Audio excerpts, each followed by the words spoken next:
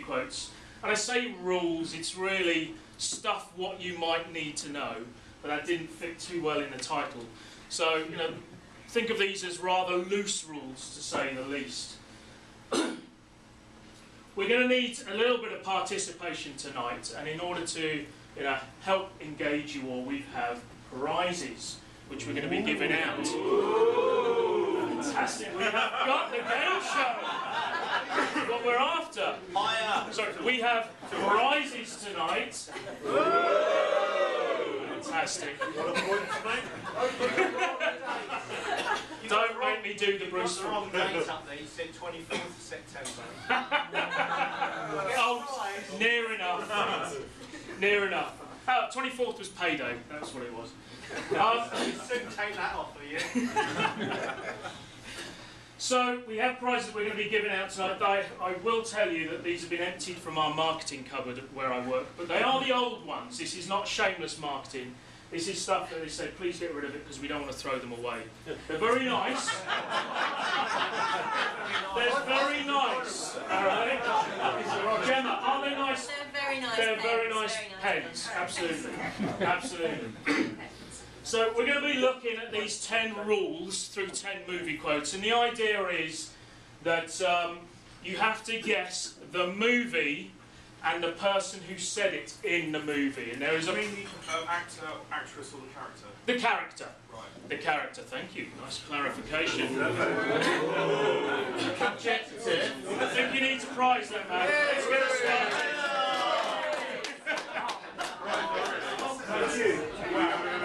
We've got a lot of this stuff to get through. What if I guess the writer? Have we got any smart ass prizes? I'm not sure. You should think something. Um, so there's a prize for guessing the film, a prize for guessing the character. We've got some bonuses at the end, in which you're going to win some more prizes. One prize per person for the time being. I, you know, I don't want the guy who actually spends all day watching films to go away with 40 pence. I think that's probably a little bit excessive. so for the time being, one prize per person. If you have already won and you know the answer, nudge your neighbour, get them to answer. Let's let's uh, let's be fair about this. There are rules and conditions which you can see there. Oh, sorry. Uh, so, are we ready to start? Yeah! Fantastic. Jaws! I heard someone over here first. And who's the character? Oh. Roy Schneider. This is keep training. Yes, there you go. So one for a winner. I think you got the you got Jaws, didn't you? I think you got Jaws. Uh, who else was it? She got both. No, no, no, no, no. So what was the film? Jaws. Right, someone over there. There we go. Right, we're going to get into a rhythm here. Okay. So the first thing, let's check. Police Chief Martin Brody, Jaws. Fantastic. So, so what? I hear you all cry. Okay. Maybe on the next one. So, don't underestimate your risks. Is the is the uh, is the moral to this story. So, the thing is, what I often hear is, we're a small company. Nobody's going to hack us. It's not going to happen. There's a, the, the reference that's um, up here on the first bullet point is from a, a, a chap called Brian Krebs. He runs a blog, um, does a, you know an awful lot of you know, good entries, good good um, good blogs, and he analysed a Symantec review from 2011. He found that um, attacks on small companies has has increased dramatically. So the old adage that nobody notices, that nobody knows who we are, doesn't really stand true anymore. You also have to make sure, obviously, that you're measuring those risks when you find them effectively and accurately. And don't think that a pandemic isn't going to happen to you, especially if you're a global organisation, right? They didn't think it was going to happen in Japan or Mexico. It happens around there. And that's going to cause disruption to you. So, you know, don't ever underestimate the, the power of, of even just a scare story to, to disrupt your business. The flip side is, and I did mention this just before Christmas actually when I was when I was doing a two minute shtick here, was don't fall prey to wild dog syndrome. So in India I've seen a company's risk register that said attacked by wild dogs on staff. so, well, fairly unlikely, even on the streets of Delhi, let alone within you know an IT um, you know an IT compound. All right, so let's not get over fanatic here. Asteroid strike, nuclear war. Um, you know that that was potentially a risk a few years back between um, you know India and Pakistan, for instance. But I think that's that's largely subsided. So you know, don't over egg these. the other comment, the other thing that's thing that's come out a lot over the last sort of 18 months or so, and this is going to lead us neatly into the next one, is you have to plan for failure.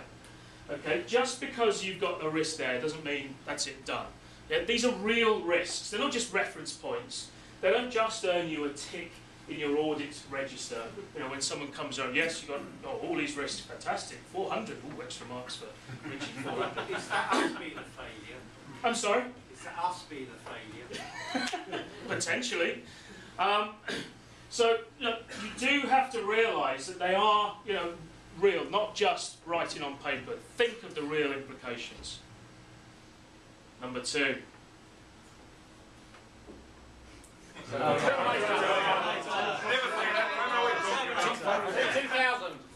So, okay, so I heard. Okay, what's the name of the film? Terminator! Uh, he'll do. and what was the character? T1000. T five hundred. T Uh, it's not the answer I've got on my card, I'm afraid. T for two. Last action hero. I think I think the, I think he was named after the film. Thank you. There we go. Ah. If you look in the script, if you look in the script, it says the Terminator. Which Terminator? T1000. Him. Yeah, which one? One, two, or three? One, two, or three? One, two, or three? No, the film is the Terminator, the first one. He did use it in other films as well. Oh.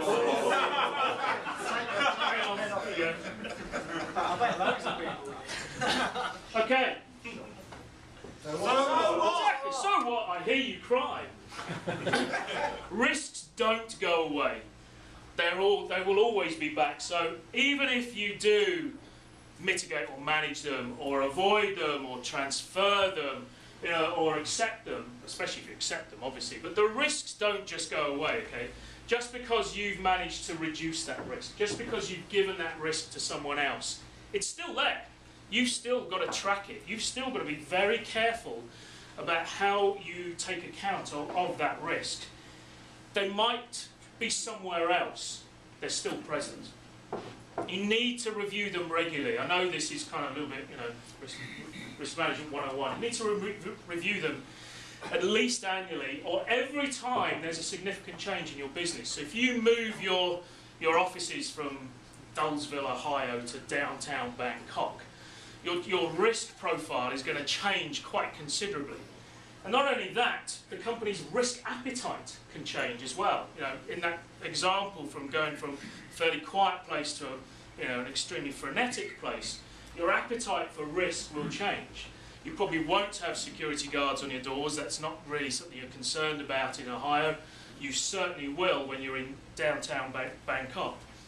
And the other thing as well is risks. The, the risk itself doesn't always change, but in, in, in the reference to, the, to ISO 27005, the likelihood might change, or the ease of exploitation might change. Now, whichever methodology you use, I think the same thing can be applied. So it's not the risk necessarily, the, the, the core risk change, and it's how it's put together, how it's implemented, or even how it's, how it's going to apply to you. Ready? Double prizes for this one. Treasure of the Sierra Madre.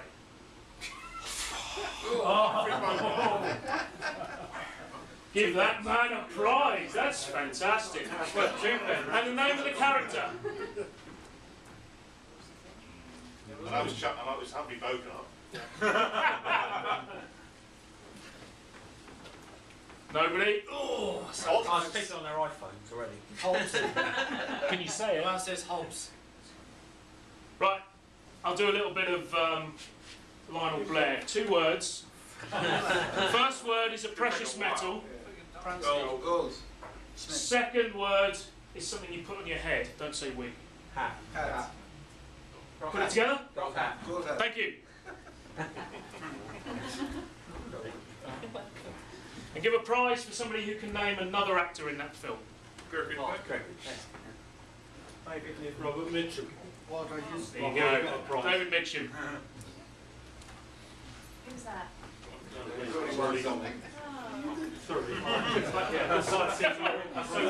All right. So what? I hear you cry. So what? Thank you.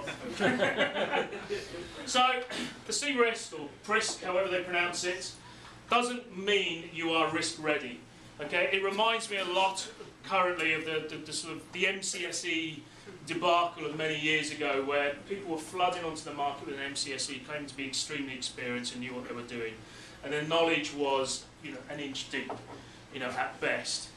It's any, and this applies to any qualification. I'm not, not taking any kind of a dig at ISACA or anyone else, but you know, the CISM, the, the CISSP, all of the other ones. What they do is just demonstrate a foundation knowledge and demonstrate that you can take the exam and pass it. They're very useful. You know, I find very often in a, in a master services agreement with a client, they're stating their requirement is that your information security staff must be suitably qualified. This is a fantastic way of demonstrating that qualification, but it doesn't, it, it is no substitute for actual experience. It's a great way of getting through the door, no doubt about it, but all it does is demonstrate that foundation knowledge, doesn't prove any kind of experience whatsoever. So don't go pinning your hopes on people who have business cards that are very, very long to fit all of the letters after their names. You know, it means they can do an awful lot of, of exams and they're very good at the multiple choice selection and things like that. You know, because you know, after a while they become they, they blur a little, if you will, right? So focus on the experience as well as the qualifications. You need to look at them both together. So you're advocating not training our security No. staff? Well, interesting you should say that. and we'll come to that one in just a little while. Just don't let them take the exam. No, that's no, and, That, and, that means he's going to, he's going to think you're going to forget about it. no, I, I, you know, I take your point. There's nothing wrong with these qualifications, but there is an overemphasis on the qualifications. You know, and I know that there's an awful lot of you know, furore going on around at the moment around the you know ISC squared and their their qualifications at the moment. You know, there's a certain amount of unrest. I'm sorry. Oh, okay. Now, I use the first about qualifications. I would argue it's almost more of an HR-driven thing than it is for many people in the industry. Because I'm sorry, but a lot of people I talk to in the field, yeah, we have certs, we don't have certs. It doesn't really matter if you get someone who knows their stuff. Yeah. But to get past the gatekeepers in HR, or my apologies, recruitment consultants sometimes, um, those are required. No, and I totally agree. I totally agree, and it's a very good demonstration of that foundation of knowledge. But it shouldn't be taken, you know, it opens the door to let you in. It gives comfort to, you know, if you're working in a consultancy or in a client-driven model, it gives comfort to the client that they actually, you know, you have the skills in the right place. Absolutely. And I'm, you know, I'm by no means advocating that we should just, you know, tear up our certificates at all. They're very useful. I'm taking an exam in two week, two months' time. You know, so, you know, I couldn't possibly tell you, just in case I don't get it. Stupid. You know, so I just uh, putting these into perspective effectively i- is, is the message that we're putting across So, here. so how do you validate experience? That's, isn't that what a good interview is about? Yeah. yeah. No, interviews are just as flawed, different reasons, but I'm sorry. There are plenty of overqualified security consultants, certified or not, who are absolutely rubbish at interviewing. The whole hiring process. That's a different story entirely, though. Yeah, I mean, I, I, I agree. I mean, for instance, you know, Sapient, where, where I work, our interview process is somewhat lengthy, to say the least, and it does give people a chance who, you know, the folks who've got brains the size of a planet but can't tie their shoelaces in places, it gives them a chance to show their skills and their experience. you know, I think they're probably exhausted after about two solid days of interview and things like that. So there are ways and means around it. Yes, interview processes are flawed. Looking at, um, or potentially flawed, looking at certificates alone is a flawed way to do it. It's trying to take a balanced approach to this. Number four, how are we doing? 2001. On that, and character? David. Pal, David Yeah. Owen. Who said David Bowman? There you go.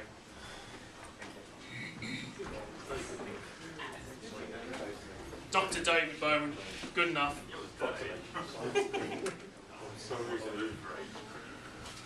So what? Thank you. No, someone's on the ball. Come on, folks. Help me out here. You can't just rely on technology. okay? Technology can, has done, will, always fail, etc., etc. So do humans, right? So that's again why we need to take, you know, a compromise, a, a compromise, a, a, a sort of a blended approach to this. You need to complement any technology technological controls you put in place, you need to complement, you know, with the softer controls, the policies, maybe the security awareness, if you believe in that sort of thing, training, you know. Um, I know some of you out there do. Um, you know, so you need to, you need to um, try and blend the two of them together. You know, the, the technology is very good at doing, you know, the arduous and the mundane. You know, it's great with automation, but it does throw up false positives. It does stop things from working when, you know, you really need it to work. And this is where your best data loss prevention solution is really your people and trying to turn them into security advocates rather than trying to turn around. Well, awareness may not be the right approach to making them the security advocates. It's not always around security awareness and training. And that's a very big topic in, it, in of itself and one we're talking about at What's the RSA. difference? What's the difference? Security awareness itself as a concept, I think, is very much, it, it has this uh, view of it's classroom driven, it's CBT. You have to do this as well as your ethics training, your anti- anti-bribery training. And if I want to, if I want to, um, you know, put a, an expense claim in, I have to do a 20 or 30 minute training course on that. And if I want to, you know, if I want to know how to use the help desk, I have to do a course on that, and so on and so on and so on. So before you know it, it becomes, it's just banal, and people will work around it. Um, so That's what security training is, not what security awareness. it's, I'm sorry. So that's what security training Yes, is, not what security awareness. is. no, but well, you, you can often combine security awareness training or whatever. But I guess what I'm saying is that you put the two. To, you, you look at different approaches to the awareness, it's not just sitting them in a classroom once a year while they pass around the cheat sheet to answer all the questions. So what are you suggesting? Are you saying we should actually In do this- social engineering calls and see if it works? I think in this particular presentation, I'm not suggesting anything. Right? Shift along a little. Language, times, but then times vision. Absolutely. Um, but effectively, you know, that, as a, to, to repeat that point, you know, data loss prevention and your people is, is the best chance that you've got before it even hits the technology for it to throw up that false positive. Big topic though, very happy to talk about it afterwards. Number five, we hit the halfway mark. See dead people. Sixth Sense. Sixth Sense. Cole Howman? Cole, the little boy from Six Sorry? Joel Haley Osment. David. It's the second word. Coal. Water. I struggled to stay awake for the whole thing, if I'm. Come on, we need to get a pen out here. Cold paint. Coal mine, I like it. Coal Who- feet. There you go. Coal face. That'll do. Who's? Coal seer. Near enough. Oh. Funny story. A very close friend of mine taught his three-year-old boy around about the time of this film. His three-year-old boy just learned to talk, to walk up to strangers and say, "I see dead people." so, what is this one? I hear you cry. We're going to get this right on number 10, aren't we? So, professional burnout. This is something, again, it's become a bit of a topic over the last 12 to 18 months. Not as much of a topic as I would have you know like to see, but it's something that's getting very commonplace in the information security risk management in this whole kind of sphere around here. It's it's starting to become more recognised. The reference there, you, you can get the slides afterwards. The reference there um, is uh, links to a survey that was carried out and a, and a campaign, which seems a little bit short-lived, but a campaign to try and address this. Apparently, 70 to 80 hours a week is normal for many folks in this industry. And the, the reason for that is job creep and you know, um, split responsibilities is a very common theme in what we do. So you very often find the IT guy is also responsible for IT security as well. Or the finance group, the CFO says we need to implement you know, ISO 27001 and that goes down to someone with his, within his team. And so you end up with this split personality tr- trying to do two entirely separate, somewhat related but separate jobs with only so many hours in a day. The best part of it is there's never an end in sight. There's always another virus, there's always more risk, there's always an incident. There is no light at the end of the tunnel. And so, you know, as a result, people just end up putting in more and more hours, and the burnout side of things is, is something that's a little bit of a concern. Suffice to say, the economy has made this a lot worse these days as well. Um, you know, people fearing for their jobs, you know, um, less jobs around, so they're willing to take on these extra, these extra hours and the extra responsibilities for job security. So this is something that I think is going to become a bigger and bigger problem as we as we move forward. I'd like to say I saw this 18 months ago, not at all. I was too busy at the time. But uh, I think it's going to become a bigger problem as we go. I'm You surprised say those that figures though. I, I, I don't know many people that work those few hours. That's eight, that's eight, 80, John, not eight. Ready? Uh, Yes, Colin. One there. Someone needs to. We'll nudge someone then. Yeah. You're favouring abstain. There you are. I think your hands Yes, just over there. That'll. Technically, couldn't you attribute to the first animated Hobbit from like the 1980s? Could do. Could do. I, I didn't know. This is the first one I found. Because you could have said The Hobbit, I'd have accepted that as well. We've got lots of pens to get through. He's been doing eight hours a week. Yes. Pass you will. So, Yeah. So look after your data. There's a five questions here, and each of these oh, there are there there are. There's five questions here, and you should be able to answer every single one of these questions regarding all of your precious data. Perhaps we'll call it you know personal information for the sake of argument, right? Theoretically, you know what systems your data is in. You know what country it resides in. When you actually get down to practice, you've got HR teams, you've got hiring teams, you've got you know legal departments and finance departments. And you talk to them and you say, well, where do you put this payroll information? Oh, we store it on an Excel file on this server. Where is that server? I don't know. Where do you put this? We put it on a SharePoint. Where's the SharePoint? I don't know. And you often, before you know it, you've got you know EU personal data being stored on a server in you know in North America somewhere or in Brazil or somewhere like that.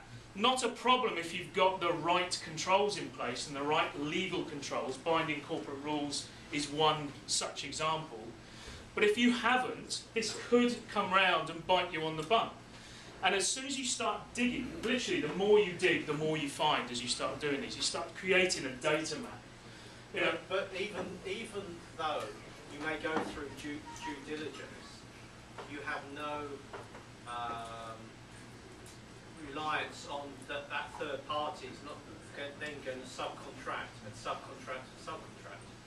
So, you know, at the end of the day, you can do what you can do, but you have no idea what they're doing behind the scenes. Well, you can establish contractual terms with whoever it is that you have got those agreements with. What do you do with China and stuff like that, yeah, okay.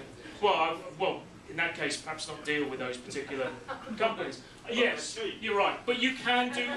yeah, yeah, point taken.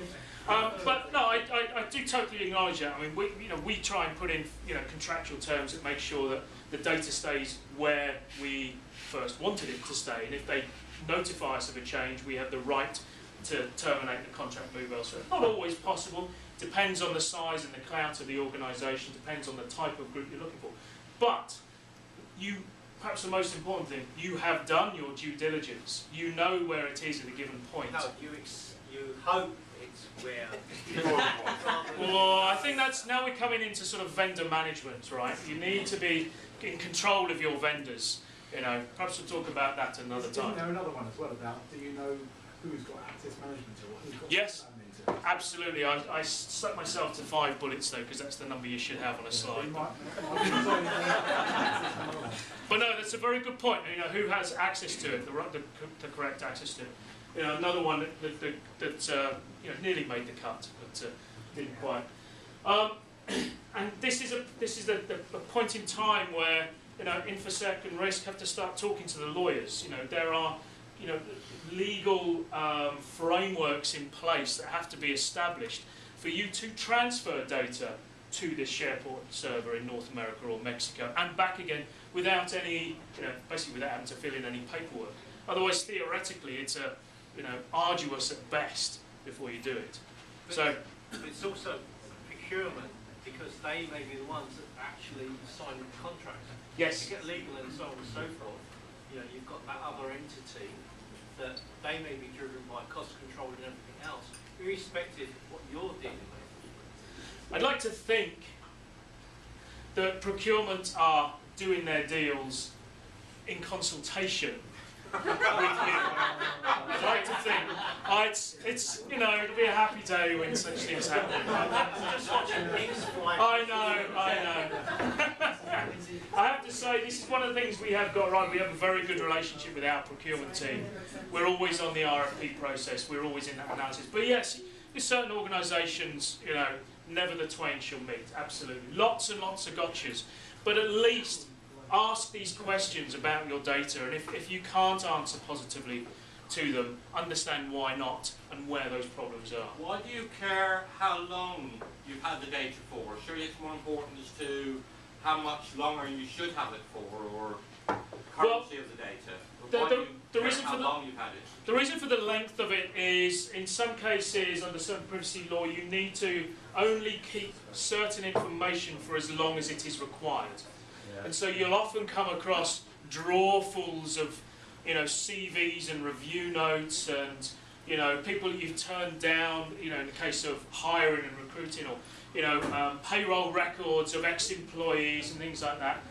You need to keep it for the requisite legal amount of time, be it seven years or whatever. Some things you should dispose of as soon as you no longer need it. And that could be six months, three months, a day, who knows. But it is important. Never hold on to this stuff for longer than you should. You know, if, you, if you're holding on to it, you can lose it. If you get rid of it as soon as you can, destroy it, then much more difficult to lose. You talk, you, sorry, you talking about members of staff, get rid of them as soon as. You see, Disposing of them. you're seeing through the, the, uh, the warm the outer shell here. But you know, another point for vendors is Yes. if you if you are go- going into contract with vendors, then you insert the right to audit, and then you go in there and say, right, where is our data? Absolutely. And then if they don't give you satisfactory answers, then No, absolutely. within the contract. There's a lot of mechanisms you can use. Of course, that means you know cooperating and working with the lawyers to make sure that that clause is inserted in the contract in the first place. Many vendors, BT is one of them. You know, even basic stuff versus the contract. Tough. If you don't want it, if you don't want to sign it, you can go away somewhere else. You see that all the time on lesser issues. But uh, right, moving on. Before you lynch me between get between the food and this. Right, five thirteen. I've had that. Sorry. It's in the bodyguard. Give the man a pen. Give the man a pen. Oh, that's good.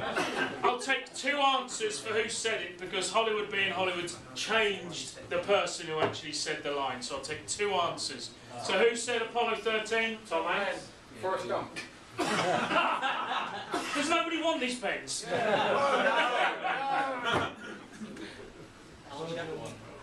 No. No. Buzz Lightyear.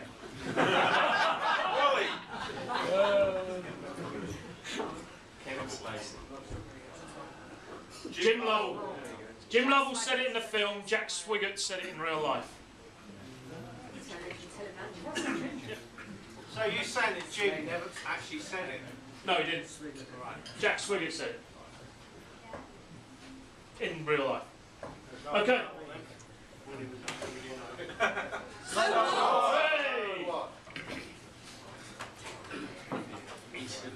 So there should be a question mark on the end of that. Let's cut it off a little bit. So is your risk management and incident management program, or are your incident management and risk management programs connected in any way, shape, or form? They do very similar things there. Um, you know, they both they both identify and detect risks and issues. Right? They, you know, one does it proactively, one does it reactively. Hopefully, your risk management program is is feeding to a certain extent scenarios that could be happening for the incident management team to be prepared for. Theoretically, if you're doing your job right as in risk management, the incident management guys should know exactly the sort of things that are likely to happen.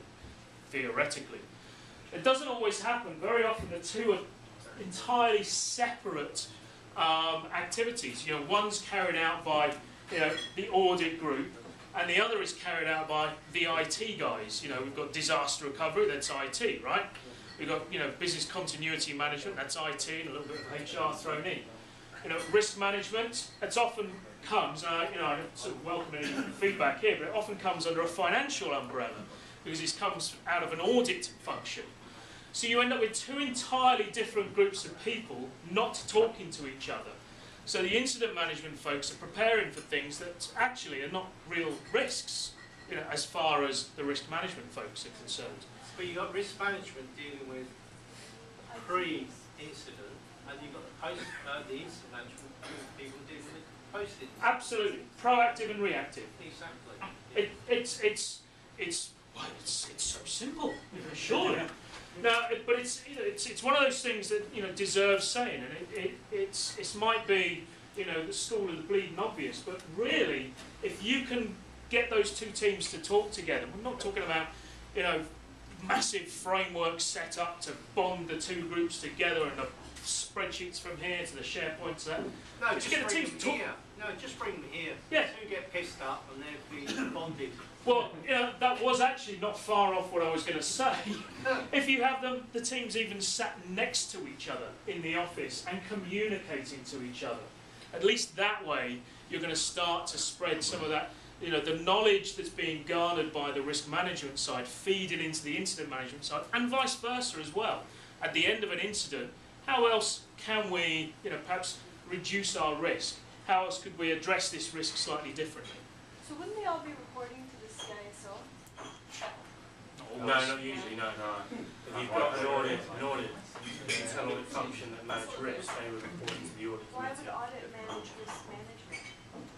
I'm sorry, I don't understand. If it's IT risk management, why would it be under audit? But risk management cannot, can, could cover everything. It could cover economic risk, you know, it could cover uh, social, environmental risk, it could, you know, all sorts of things, which is why it often comes out of an internal audit function, which often comes out of a, a financial function. If they are all reporting to the CISO, then fantastic. You know, I think, you know, it makes absolute sense. But, you know, a lot of the... He just hires the CISO. Yeah, yeah, that's another thing. Another thing is, what's the difference between an incident and security incident? It depends how you define it, how you Well, no, many, how, how do many organisations record it then? Yeah. How would you They don't- define it? They don't record anything? No, how would you define it in the first place? Security they just don't record. Yeah, absolutely. So therefore, it's the IT guy, the service management guy who deals it. You might hear about it because you're. Yeah. Sorry, can you just repeat that? So it's, it's, it's not always, security incidents are not always reported as security incidents, it's just an incident, something's broken, something's gone mm-hmm. wrong. Not, something's broken and we've let someone in, if you will. So it comes down to the IT guys to, to fix it. I, I, I don't agree actually. I, I think if you can't report security incidents correctly, that comes down to a failing in the, the ISMS or the IMS. That comes down to an organisational failure. Or the security terms- awareness. Yeah, in terms of communicating the policies and procedures around what a security incident should be. Yeah, I absolutely. actually disagree with both of those. Hang on, we, we, we can't go around the room like this. Um, sorry, go on. In many cases, it's a failure of the incident management guys, they've not trained the guys who have to be reporting the incident who recognize what you're looking at. Yeah, sure enough. And the problem is how to follow up with it. That, no, that's, the incident management is Absolutely. always have a subject, that I'll take a page from your book. Moving swiftly on. Dirty dance. Dirty, di- David. Why do I know there's a man there. And who was the character? Johnny Castle. Yes!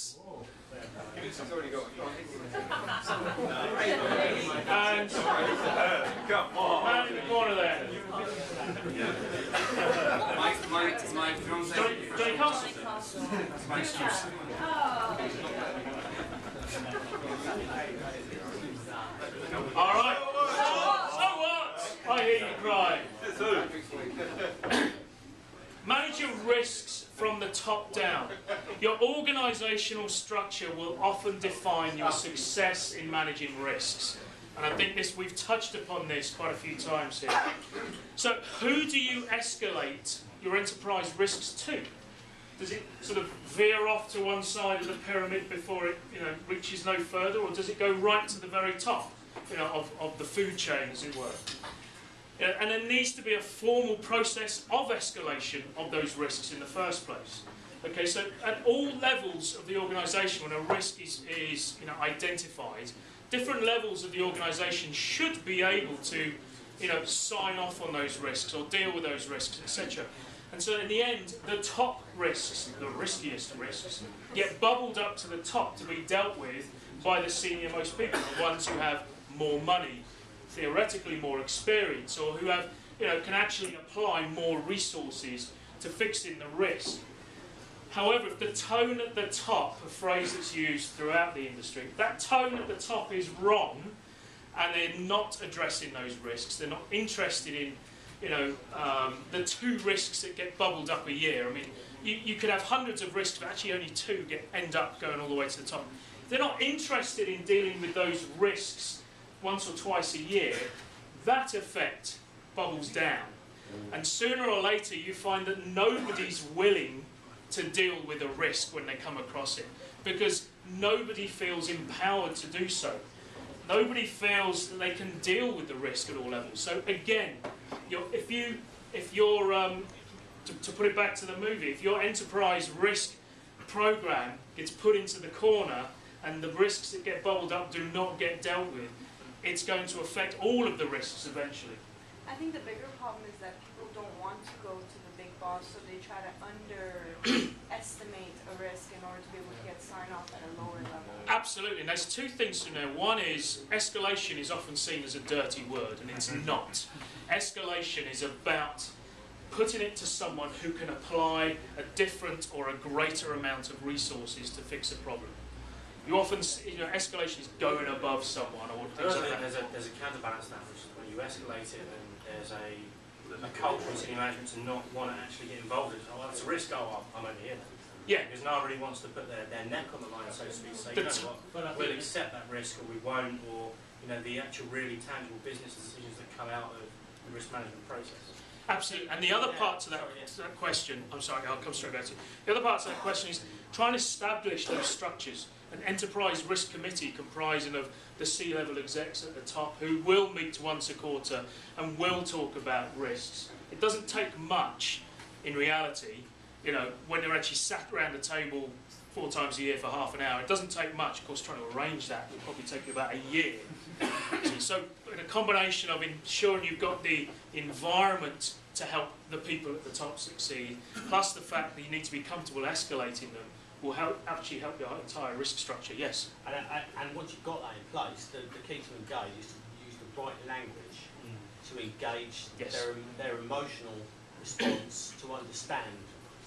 And then they, and then they will respond. Absolutely, you have to talk in the language of the board. Yeah. And you know, I think there's courses out there that you can take that will actually, you know, help. You know, Crossword bingo. exactly, exactly. It's, it's awful, but it's true. It is. True. It is absolutely. But if they don't understand, if, if you're talking about some esoteric, you know, um, Synergistic. I actually, I was, I was going to some esoteric IT issue, right? They're not going to get it. If you talk about that iPad you've got in front of you, I can, ha- you know, that data is not safe, and you know, here's your wife's mobile phone number, sort of thing.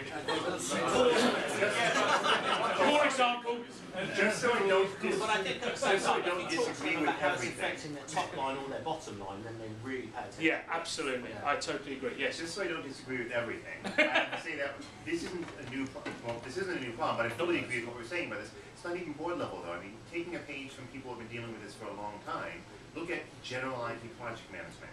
Look at how many of them fail, go over budget, so on down the line.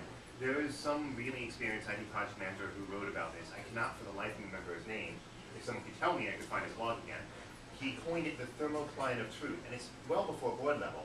It's the senior project managers or the program managers who don't want to admit to their board level superiors that things are off track. And Yeah. they just tell people to get it done. Mm. Yes. This- But the point is, since this problem has existed, we're not, IT sec is not, we can take a page from whatever they've done to solve it, which isn't much true, but let's see what we do.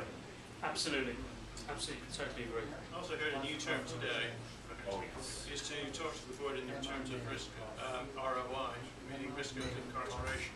Risk- Very true, very true. Right, moving swiftly on. Number nine, we're nearly there, folks. Now, come on, we've got a lot of pens to get through. Uh, Goldfinger.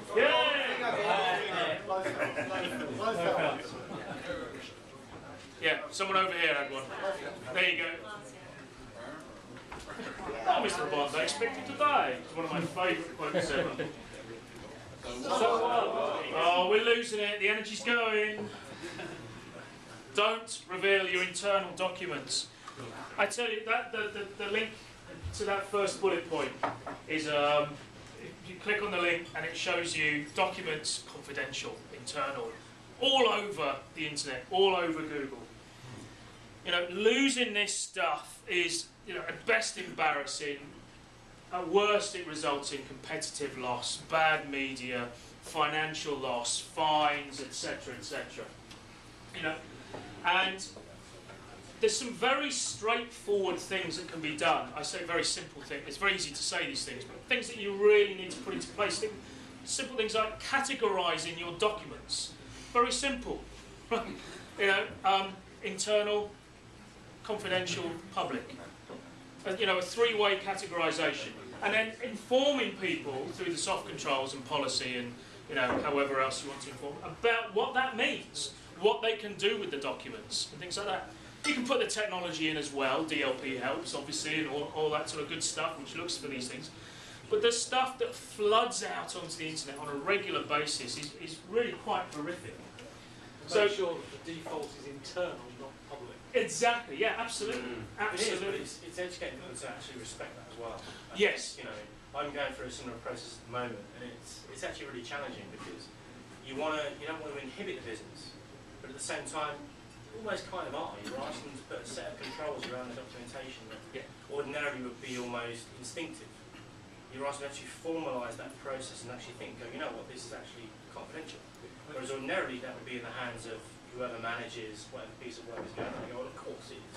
Yeah. But no one else underneath them will know. And I think there's a real challenge there about getting senior management to accept the fact there's an administrative overhead Yes. to implementing this kind of solution. But, but the catch is, you don't know what's going out. Most, most people don't spend any time looking at what's going out through the gateway. So when they look at stuff and they publish it internally on the corporate network, they've got no idea about all the gateways that the corporate network has. Yeah. And what that, Um, ser- seriously, try and do, try doing a Google search with site, colon, and then your corporate domain.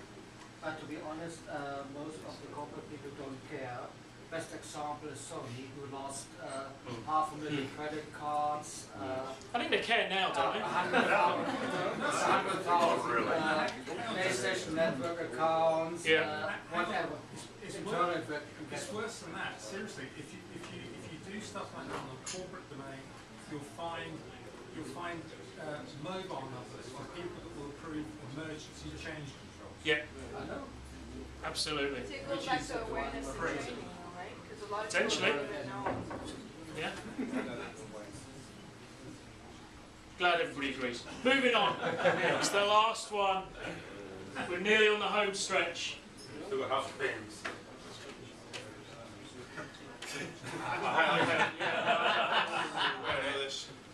Right, Burgundy. Yes! Who's seen Ron Burgundy? Yeah. And what's the name of the film? Anchorman. Yes! It's got a name, but it's not Ron Burgundy, is it? Or is it? I know it is. Yeah, it is because it says it there.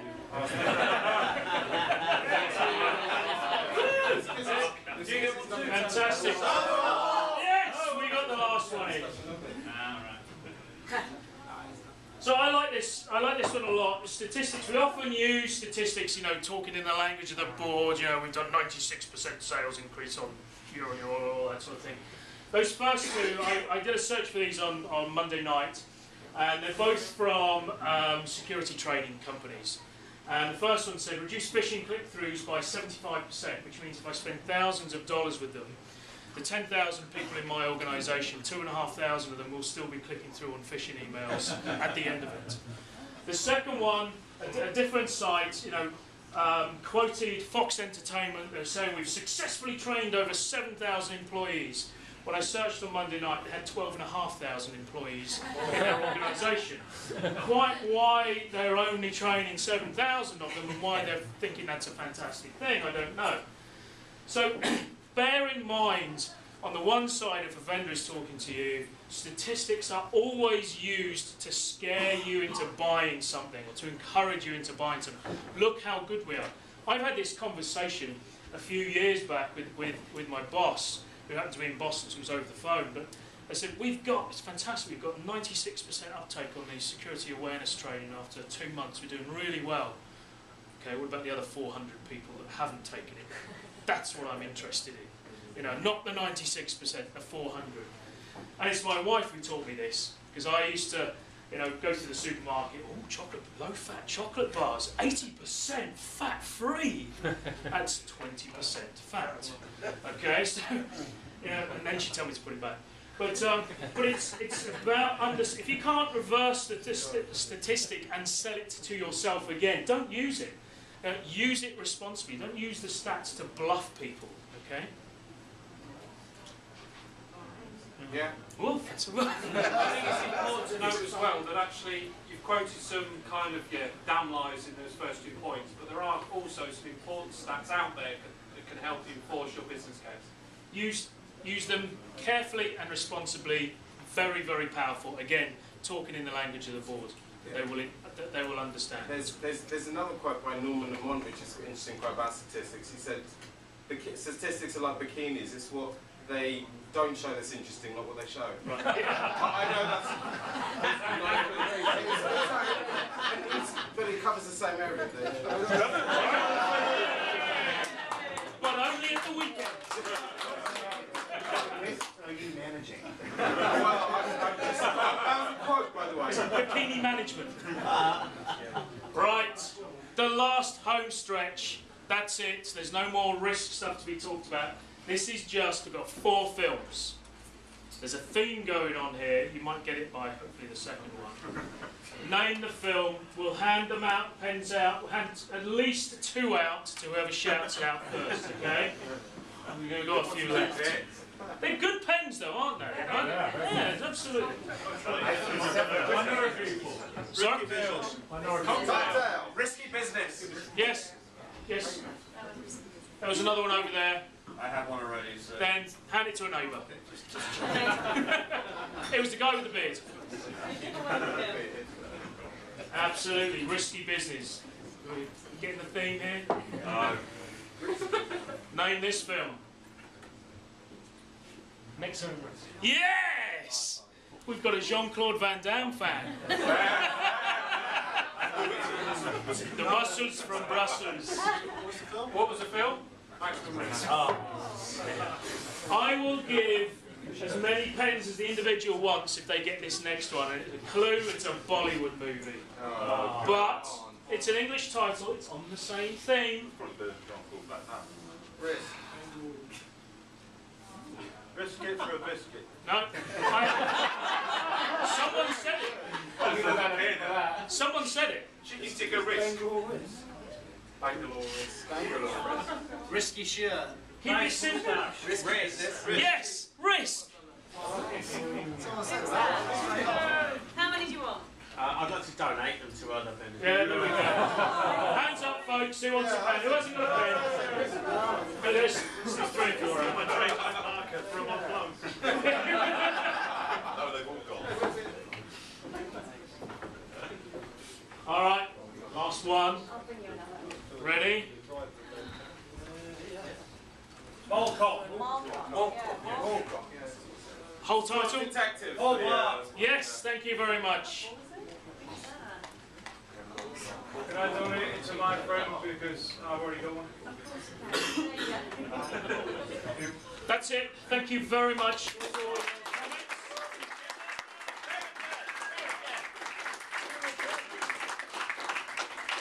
Thank you very much. Really enjoyed the session. Lots of great conversation. I'm very happy to continue it afterwards, obviously. If you want to talk about it um, uh, offline afterwards as well, I can be reached at all of these.